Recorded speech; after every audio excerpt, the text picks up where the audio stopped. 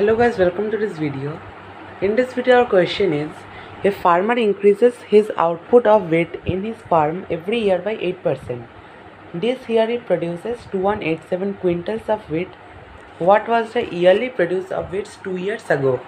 So in this question we are provided with the present uh, production and you have to find out the production two years ago. So write all the information that i've been given. So principal not is equals to given 2187 quintals. So we're not writing quintals anymore. So rate of interest or the rate of depreciation is given 8% and the time is we have to find out for 2 years. So therefore you uh, write our formula like this that principal not divided by so here we have to divide as it is uh, two years ago and uh, not the two after two years. So we give division and uh, now as usual that is 1 plus r by 100 to the power n.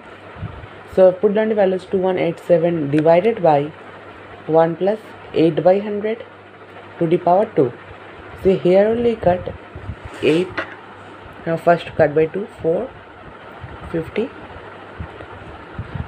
and once more 225 so cannot cut anymore.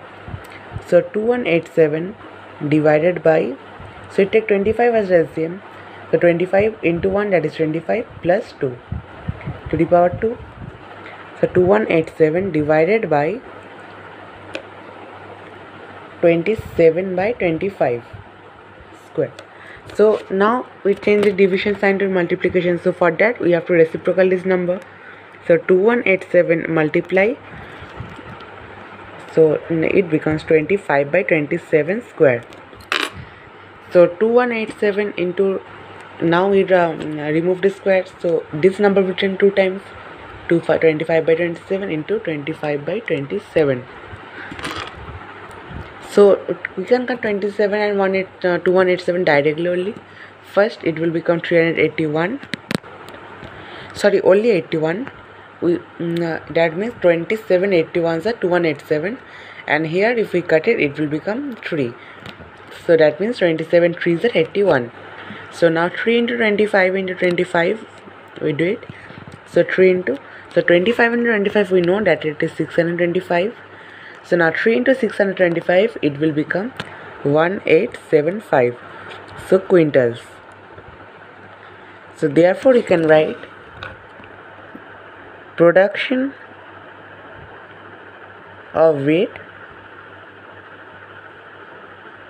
two years ago is equals to 1875 quintals. So this will be a final answer for this question. So guys thanks for watching this video and please subscribe my channel for more solution